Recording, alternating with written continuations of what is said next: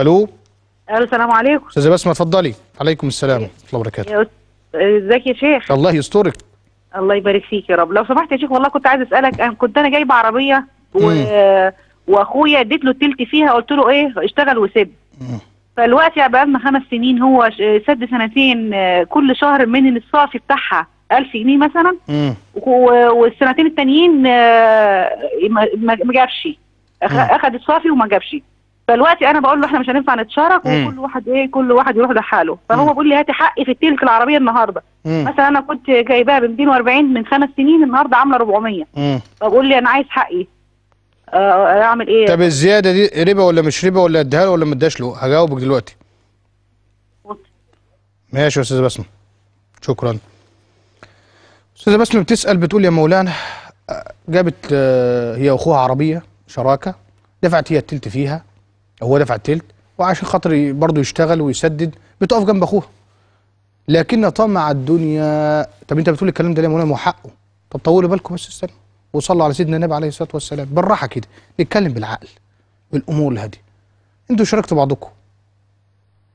والعقد شريعة المتعاقدين إحنا بنتكلم مع بعض. جبنا التلت. هو جاي لك التلت. طب يا مولانا أنا دلوقتي أنا عاوز حقي. هل اخد حقي بالسعر اللي أنا كنت دافعه؟ وليكن مثلا هي كانت ب 220 أنا دفعت ال 20 يا مولانا اخد ال 20000 جنيه بتوع بتوع زمان بخمس ست سنين ولا اخدهم بسعر دلوقتي؟ أربع أقوال. القول الأول بيقول لك يا مولانا لا. لو أنا حاسس إن أنا هضره يبقى أديله الزيادة. أديله زيادة. ادي القول الأول. القول الثاني بيقول لك لا. على هذا أن يأخذ المال الأصلي أو حقه الأصلي ثم يستعوض الحق سبحانه وتعالى في هذا. فمن عفا وأصلح فأجره على الله. ده القول الثاني. القول الثالث قال لك لا بالاتفاق. تقعدوا مع بعضكم والله أنا دفعت 20000 جنيه.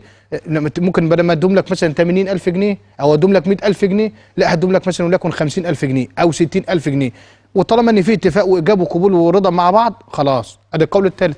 القول الرابع بيقول لك لو حصل نزاع بين حضرتك ولأن القيمة المالية هنا اختلفت خلي بالك في السلعة. ال 20000 جنيه اللي كانوا ممكن يجيبوا عربية مثلا فيات صغيرة أو عربية وليكن بيجو 504 زمان في خمس ست سبع سنين مش هينفع تجيبوا أي حاجة دلوقتي. فالقيمة اختلفت. فأنا باخد على هذا الاختلاف. قال لك لو حصل هنا تنازع بقى وشقاق وكلام من ده يرفع الأمر للقاضي. فالأمر بينكم يا أستاذة وفاصل ونواصل.